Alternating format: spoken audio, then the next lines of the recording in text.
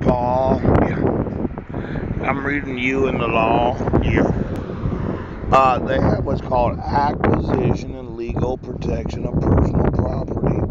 You may acquire personal property in several ways by inheritance, oh, by purchase, yeah, as a gift, by finding it, or by making it. but you do not have do not legally own anything you acquire by theft or fraud.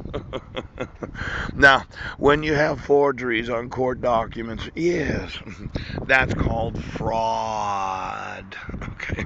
When when you have knowledge that certain assets of royal family members have been gotten because of theft or fraud, the violating of, of their nation's laws, kingdom laws, international treaties, and international conventions for every instance that I find any theft or fraud in any royal family that just could not do away with what they know they needed to have.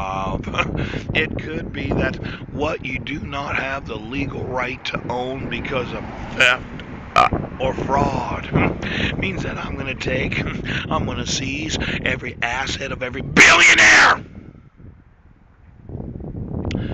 and every royal family member of every kingdom of the world. Now, I know as we look through the actual DNA of every kingdom and every nation, we look at their actual, well, clones or any kids they had with any fish that they had to have sex with or any lizarded Illuminatus types of orgies that they've been involved in over years. I find any item of any value that you did not personally purchase was not a legal gift to any royal family member. That you didn't make yourself or you didn't find someplace on the beach somewhere. But you used theft or fraud to acquire what you think you had the right to have ownership of. I will sue every royal family in the world royal family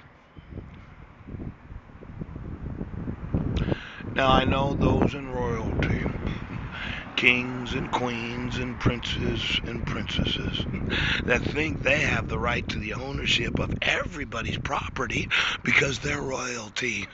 but I'm going to go through every one of your kingdoms and I'm going to look at everything that you own. And if you got it by any other way than what is legal, I will sue you for every asset of your